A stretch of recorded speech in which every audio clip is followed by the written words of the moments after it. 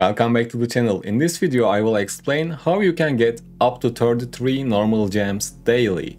First, let's talk about where we get these gems from. You get 12 unbound normal gems by doing PvE activities in a party of 4. This includes hidden lairs, dungeons and open world farming. You get 9 unbound normal gems from hidden lair guardians and you get 9 bound normal gems from hidden lair objectives. Lastly, you can get 3 unbound gems from fishing.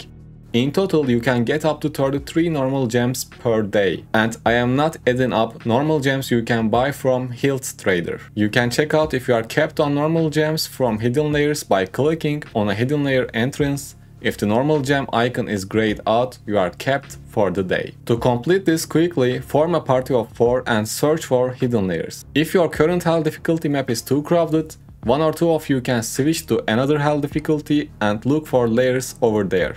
Bound gems cap out really quickly but since unbound ones only drops from guardians it will take some time.